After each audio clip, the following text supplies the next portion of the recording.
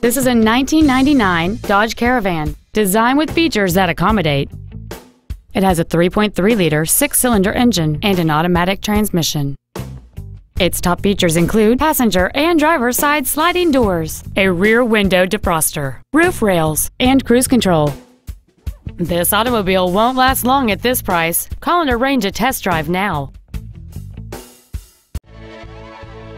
Harnish Auto Family is located at 800 River Road in Puyallup.